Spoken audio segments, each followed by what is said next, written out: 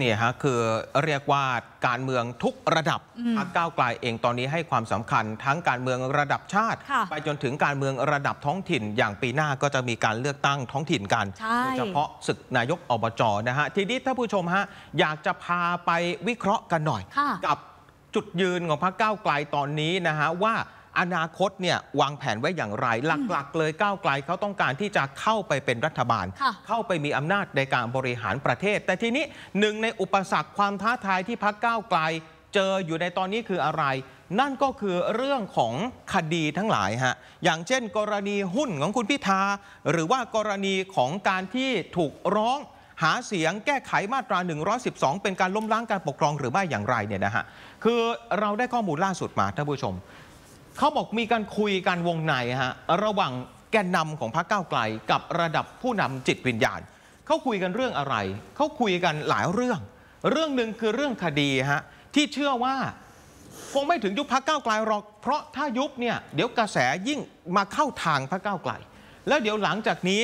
พักเองจะเร่งปรับโครงสร้างภายในจากปัญหาภายในที่เกิดขึ้นภายในพักนะฮะ แล้วก็ปรับเพดานการเคลื่อนไหว เพื่อที่จะหวังเข้าไปเป็นรัฐบาลได้ โดยที่ผู้นำจิตวิญญาณ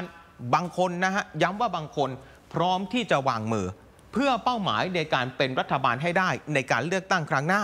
แล้วก็มี worst case scenario ถ้าเกิดว่าโอ้โหสถานการณ์เลวร้ายที่สุด สมมุติแพ้คดีและมีการยุบพักก็มีพักใหม่รองรับ และตอนนี้เราเห็นเธอคนนี้เคลื่อนไหวในหน้าสื่ออยู่บ่อยๆ โดยเฉพาะประเด็นเรื่องของเงินดิจิทัล นั่นก็คือคุณหมายสิริกัญญาตันสกุลที่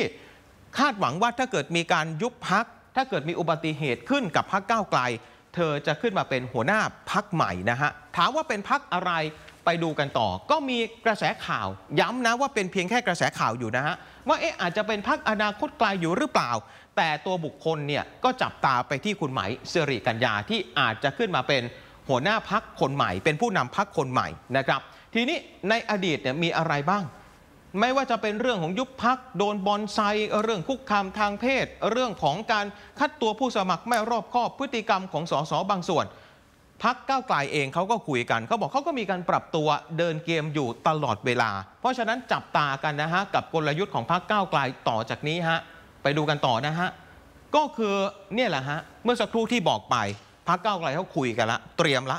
ในการส่งคนเข้าไปเป็นตัวแทน ผู้แทนทุกระดับชั้น เลือกตั้งท้องถิ่น ตั้งแต่อบต เทศบาลไปจนถึงอบจ ส่งคนเข้าไปแทรกซึมในองค์กร แล้วก็คณะกรรมการต่างๆ ที่บางพักเนี่ยทั่วไปเขาอาจจะไม่สนใจ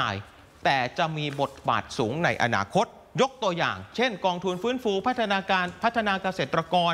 คณะกรรมการประกันสังคมที่กำลังจะมีการเลือกตั้งกันเกิดขึ้นเนี่ยนะฮะ สรุปก็คือยุทธศาสตร์ของก้าวไกลตอนนี้คือส่งคนอย่างจริงจังฮะเข้าไปเป็นกรรมการในทุกมิติ เพื่อวางรากฐานพัก ซึ่งก็เป็นที่น่าสังเกตว่าในอดีตสมัยคุณทักษิณก็เคยวางกลยุทธ์ในลักษณะคล้ายๆกัน นี่ก็คือความเคลื่อนไหวของก้าวไกลล่าสุดตอนนี้ที่เป้าหมายก็คือเลือกตั้งครั้งหน้าต้องการที่จะเป็นรัฐบาลให้ได้นะฮะ